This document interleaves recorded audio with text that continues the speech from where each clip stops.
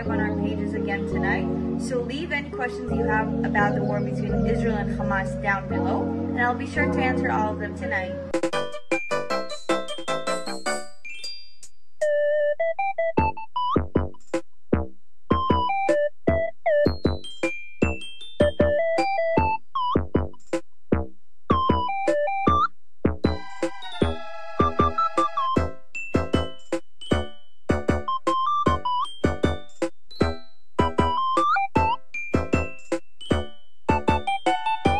Hopefully I've just shown you some sort of random montage of IDF TikTok because that's a thing and yes we have known it's been a thing for a while. I made a video when they started doing this back in I think 2021 although the account has been live since 2020 and it's just the most bizarre thing to watch like considering what is Israel doing right now and then watching these TikToks as their propaganda like happy TikToks, loads of stupid dances, loads of interviews with soldiers and pilots. It obviously serves a very sinister agenda because it's trying to make you support what Israel's doing right now to Gaza. And what I wanted to do today is just like look at it and just talk about who this is aimed at and why I don't think it's working. Because as you're probably getting the sense of from my videos, like we talked about woke washing in terms of focusing on Israel's LGBT community and stuff like that, right? They're trying to appeal to young people, young Westerners in particular, and they want you to be like, Israel is just like you. And it's no coincidence, most of the people you see in these videos are white Westerners because they're not only white, a lot of them also have American, French, South African accents, right? But so they're very much trying to sell you on Israel is Western, Israel is secular, Israel is good, young, and progressive, look at our multicultural armed forces, but where, yes, young women drive tanks and serve in the armed forces. Don't you support that, you woke liberals? You love diversity. You love diversity and inclusion in the CIA. Like, we remember that propaganda campaign recently about like woke CIA agents or army propaganda about soldiers who have two mums. And yes, that does appeal to the liberal mind. Liberals think, like, if a woman was president, nothing bad would happen.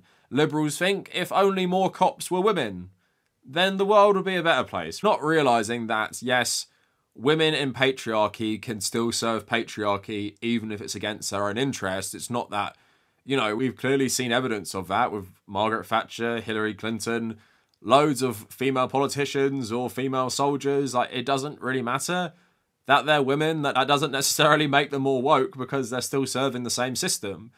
Uh, so I just wanted to look at some of these today. First, we're going to look at the general IDF TikTok, and then we're going to look at the stuff to do with women specifically. And then I just want to tie it back to IDF Cat Girls from a couple years ago, and also maybe even talk about, if we have time, uh, Rhodesia also using women in its propaganda and using women in their own military as well. So all of that coming up for you today. Please like the video. Also follow me on social media. So I don't use TikTok, but I do post some short videos on my Instagram page. So go follow that at the Kavernacle of Everything and consider becoming a patron. Get access to the Discord server. That is the only Discord there is. There is no public one. And also get access to my Switch friend code and just other stuff on the Patreon page itself. And also check out everything in the description, including my subreddit. So yes, let's talk about IDF TikTok. It is obviously like insanely dystopian. We're watching one of the most immoral and cowardly militaries in the world right now. Literally just destroying a whole territory, mostly of civilians, to try and get the insurgents there, right? And in my opinion, that is not actually why they're doing that. They're doing it because they want to ethnically cleanse Gaza and make it a part of Israel. So many Israeli politicians, members of Netanyahu's party, members of the government have all said that, right? So I actually believe they're just using this as justification to take over Gaza and West Bank will be next.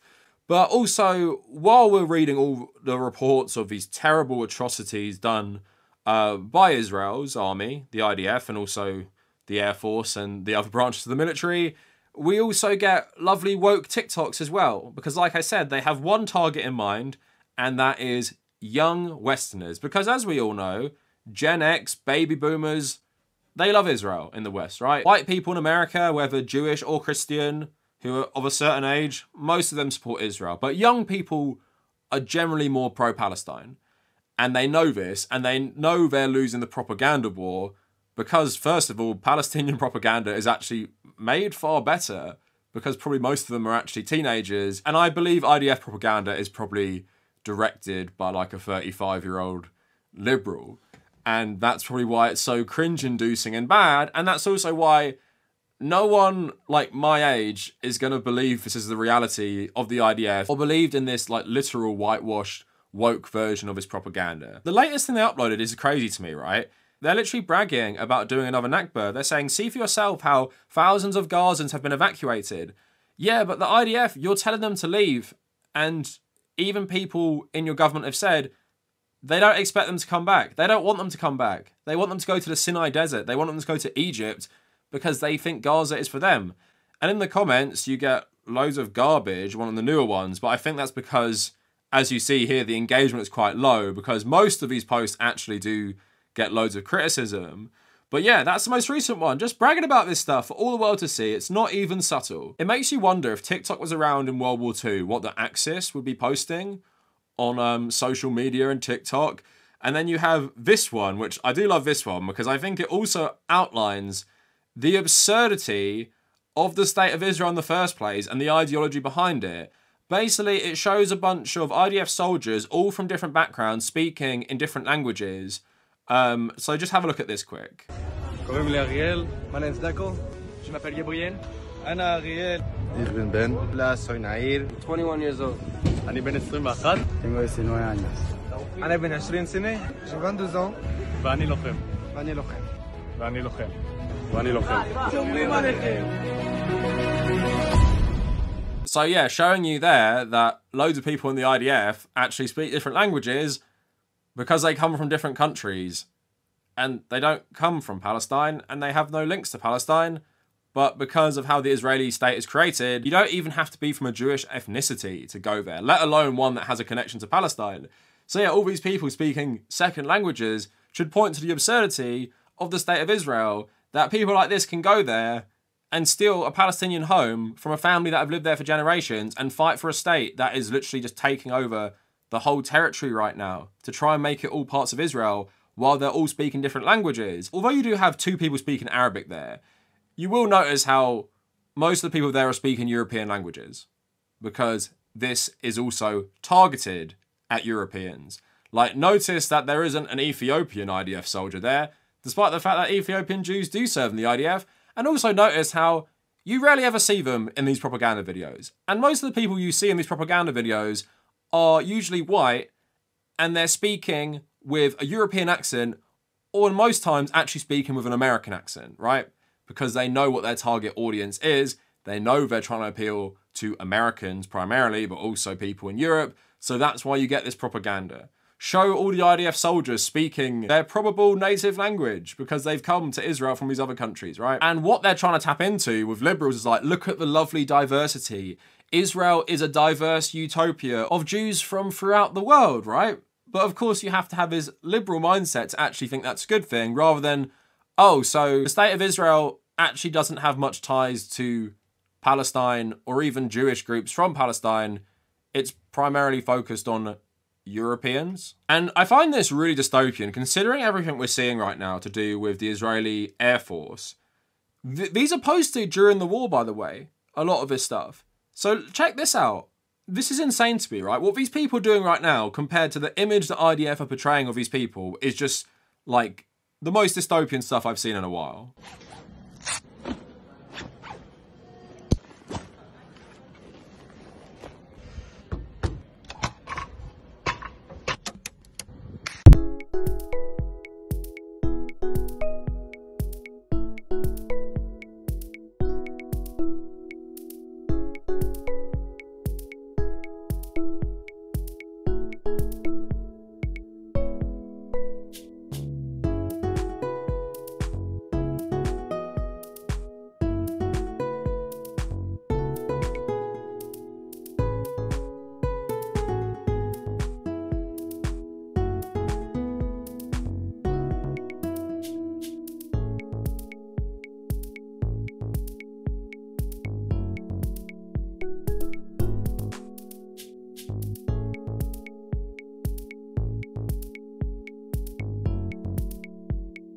So thank you there, pilots, for having these fun videos about you answering our questions. My one question would be how many bombs have you dropped on Gaza recently, but it seems like you haven't answered that. But yeah, again, so dystopian that these people, these young men, are doing all the terrible stuff we see now, and the IDF propaganda is trying to appeal to the liberal mind, the liberal sensibility of, oh, young progressive people in the IDF. How amazing is that? Here you have another video of an IDF soldier explaining to us all about the IDF. Hi, I'm Gal, and today I'm going to answer some of the most common questions about IDF. When and why was the IDF established? The IDF was established on May 26, 1948, in order to defend the newly established state and its civilians. What are the three IDF armed forces? The three IDF armed forces are the ground force, air force, and navy. What are the main tanks that the IDF uses? The IDF's main tanks include the Merkava tanks, which are known for their advanced features, firepower, crew protection, and mobility. Who is the first IDF Chief of Staff? The first IDF Chief of Staff was Lieutenant General Yaakov Dori, who played a crucial role in developing and organizing the IDF from 1948 to 1949. Tell us in the comments below which other IDF topics would you like to hear about. What other IDF topics would you like to know about? Did you like that lo-fi track, by the way? Very down with the kids, these IDF soldiers, and of course, again, front and center, like another white soldier as well. So yeah, how dystopian is that? Like, what's your other comments on the IDF? I could think of a hundred things I'd want you to address. IDF um, TikTok man. The contrast of this with the reality of the IDF is always just, to me, just pretty sickening, to be honest. Like the fact that they serve in this military gleefully and make stupid TikToks. And don't worry, it's actually going to get worse because we're going to see lovely uh, TikTok dances by IDF soldiers soon. But then you just have more heartwarming stuff about the soldiers who serve in different regions you know, best friends. Don't we all love that? so that's just to give you like a little general overview of, um, you know, IDF TikTok, which, like I've been saying throughout this war, the IDF propaganda primarily focuses on liberals. Because do you think conservatives like a lot of this stuff? Especially what we're going to see soon with all the women, seeing women in the military as equals, as Israel constantly sells us, they probably don't like that much. Again, like I said, it's meant to be seen as young, Western, fairly progressive, fun, laid back. Not that they're in like literally a terrible apartheid military or anything like that. But like I said at the start, a couple years ago we had these viral TikToks of IDF cat girls. Now these people weren't on the official IDF page, but apparently people were saying that if the IDF had a problem with this, they'd obviously stop it, but they like it because a lot of these IDF thirst trap girls were getting lots of views. Um, so just going to talk about that tiny bit. So these are some articles back from when this happened. So Rolling Stone, why are Advance Force soldiers posting thirst traps on TikTok? And yeah, I probably put on screen some of them for you today. I showed them a couple weeks ago, but the article just saying, um, in using social media as a propaganda tool, the IDF is not particularly unique. As most countries' militaries have established social media presences, it's a kind of thing a public can always find when a war comes under scrutiny, says Roger Stahl, a professor at the University of Georgia and author of, of Militainment Inc., War, Media and Popular Culture. But Israel is unique in terms of both its military's strong focus on social media and its mandatory service, meaning conscripts between 18 and 21, all, who are all young and well versed in social media. Israel is such a militaristic society, so there's a broader support for that kind of media, where in the US, things like soldiers dancing don't go viral in the same way, says Sophia Goodfriend. IDF's TikTok account launched in 2020, garnering quickly 90,000 followers. And another article by Al Jazeera around the same time, talking about this a bit more. Featuring female soldiers is a way to diversify your lethal forces, not just women, but also people of colour, and kind of putting pluralism into these violent organisations says Yael Berda, an assistant professor of sociology and anthropology at Hebrew University of Jerusalem. According to Berda, the social media strategy also draws parallels with the Israeli state's pinkwashing efforts. Israel has been criticized for using the state's vibrant gay scene as a guise of progressiveness and a way to deviate from accusations of violating Palestinian human rights. The Israeli army's strategy on feminism also seems to backfire because of inconsistency. While the profile celebrates its female troops, it can also construct content with what can be seen as misogynistic sense of humor, using the trend hashtag supermodel and the caption, we're serving looks since 1948. TikTok users see the camera pan over an Israeli tank while listening to a voice recite And I'm telling you, Bob, with a body like that and a face like that and legs like hers, she's going to be a Victoria's Secret supermodel. The author adds that the Israeli army's social media believes the solution is to improve its messages, images, and infographics, more dancing soldiers that humanize the military's face. The Israeli forces refuse to consider this as a broader political problem, and that's why they are living in a profound crisis, one that not even the best militainment can solve. I kind of echo the sentiments there of I don't think Israel are winning the propaganda war with young people, and that's the target. But anyway, on the note of them trying to target young people, women factors into this, and whether that's objectifying women, like that article said, or it's just trying to make these relatable TikToks to young people I think it's failing pretty miserably because everyone can see the contrast between what Israel are doing and these TikToks, and young people younger than 35 can all just see this is stupid, right? Like, no one is buying this. And the one thing I will say, a lot of this uses licensed music, so I'll be playing probably some like KK Slider, Animal Crossing over it. Don't worry, they're not using your favorite KK Slider songs. Uh, but let's just have a look at uh, I Am Blakely reacting to some of these, because this is where I found a couple of them before looking at some that I've downloaded myself, which focus a bit more on like talking and stuff. They just jumping on that girl math trend. That is the dumbest thing I've ever seen. Like, oh yeah, if Israel destroys a school, they're the bad guy because they're trying to get like one Hamas insurgent, so they destroyed a whole school. You're calling them the bad guy. That's Hamas math. Have you guys ever looked at the IDF social media?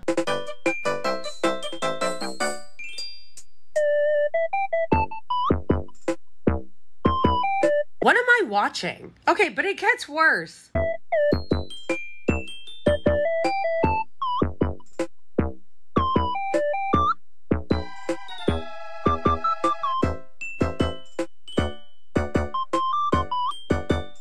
Tax dollars going to not just like insane amount of weapons, but also like their marketing budget? This is some of the most bizarre shit I've ever seen. Is this supposed to be for recruiting or just to get Americans to think they're like hip and relatable? I know you've all heard about girl math, but how about Hamas math? If Hamas places a rocket launcher next to a kindergarten and the IDF neutralizes it, then the IDF targets schools. If Israel defends itself, then Israel is the bad guy. This is Hamas math. Does any of it add up to you? Jumping on that girl math trend, that is the dumbest thing I've ever seen. Like, oh yeah, if Israel destroys a school, they're the bad guy because they're trying to get like one Hamas insurgent, so they destroyed a whole school. You're calling them the bad guy. That's Hamas math. This was recent, by the way. Someone telling me to join a live stream from the IDF TikTok account what, while they're doing what they're doing right now. So look at this. Hi So leave any questions you have about the war between Israel and Hamas down below, and I'll be sure to answer all of them tonight. See ya!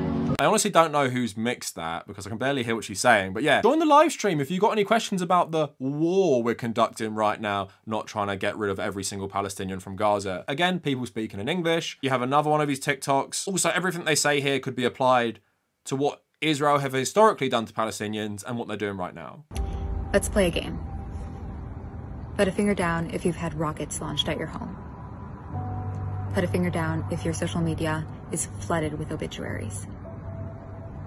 Put a finger down if you've texted your friends terrified that it's the last message they'll see. Put a finger down if someone you know is missing, kidnapped. Put a finger down if you haven't been the same since October 7th and probably never will be. I and 9 million other Israelis have just put all five fingers down. So, like I said, someone else, I think that's an American accent right there, designed to appeal to Americans, again, using women as a spokespeople in these TikToks.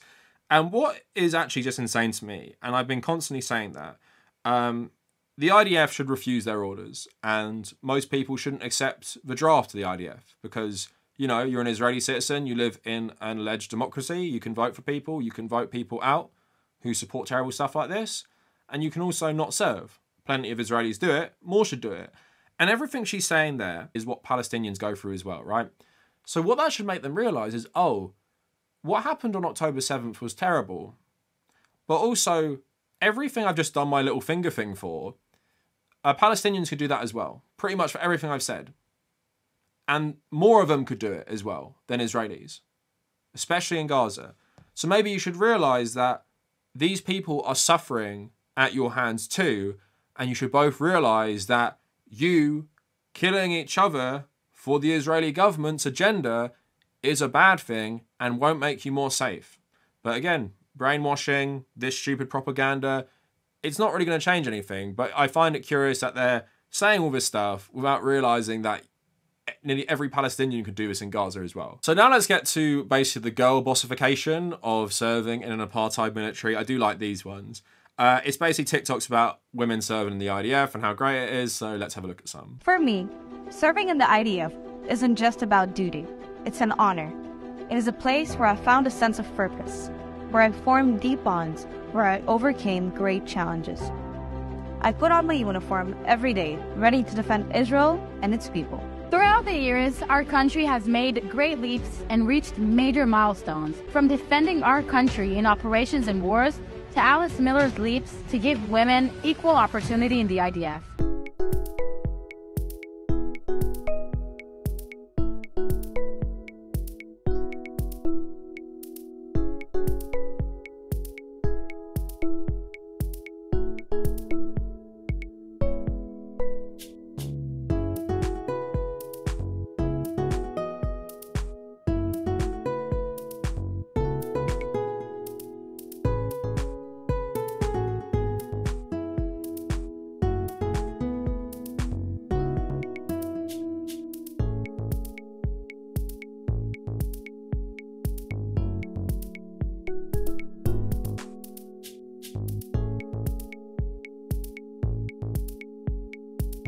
Like, do you think that convinces anyone to like join the IDF or support the IDF? Just focusing on these women, like, yeah, you can join the IDF as a woman and you can drive a tank or do this other stuff. IDF women, isn't that great? Or you can talk about how there's equal opportunities for everyone. Or you can do TikTok dances.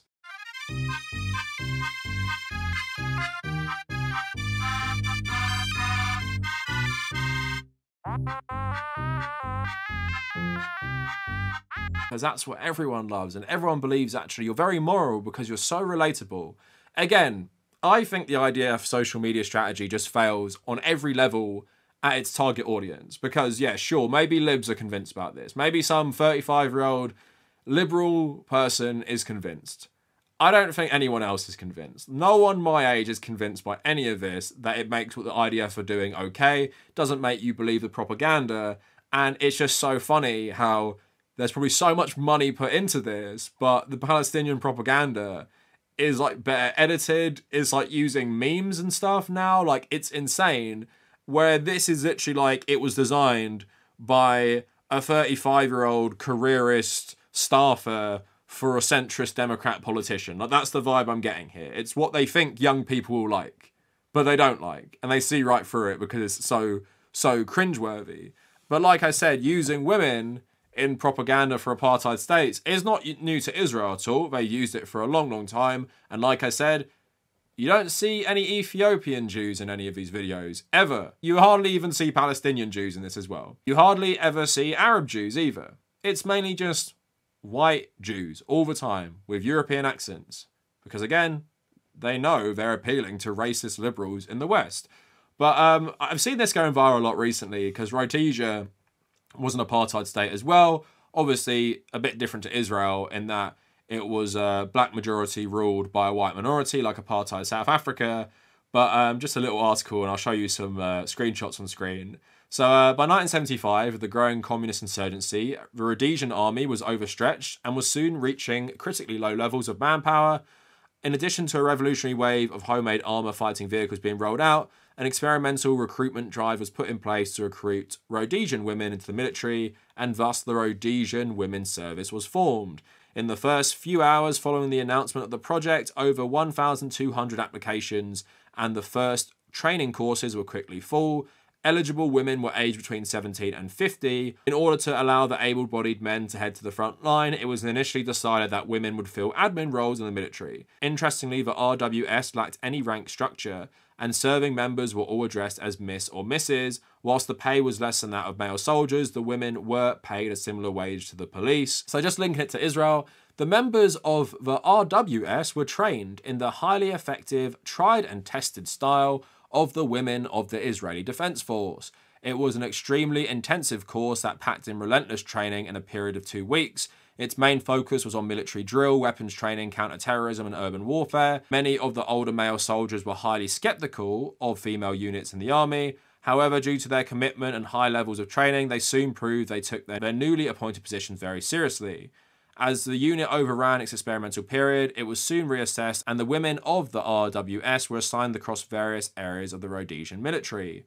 Before long, many of the women were undertaking vital duties on the front lines of the Rhodesian Bush War, such as landmine tracking, signals, and intelligence, and before long, it was gaining attention from the Rhodesian government. In 1977, in recognition of their development, the government introduced a rank structure the salary was increased and further military training was offered by women to enhance their careers. So, like I said, I showed you the propaganda, and it is funny that apartheid states seem to always stick together.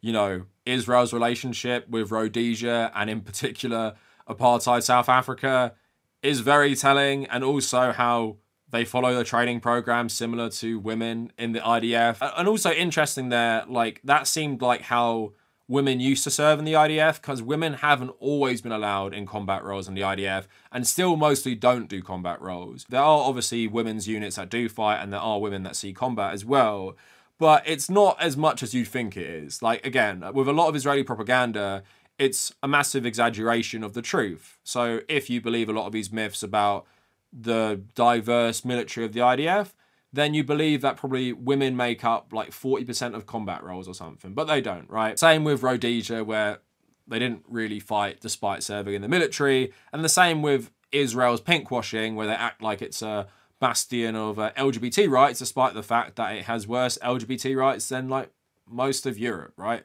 So again, this is the Israeli propaganda that they're pushing out, and like I said, I don't think it works. Well, the problem being is that whether this propaganda is effective or not, which I'm saying it's not, it doesn't matter.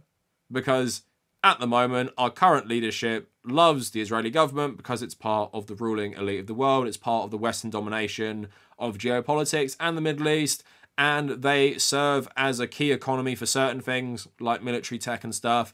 And that's what they primarily exported around the world. Anyway, that is it for the video. Let me know what you guys think down in the comments. And if you made it this far, thank you for watching.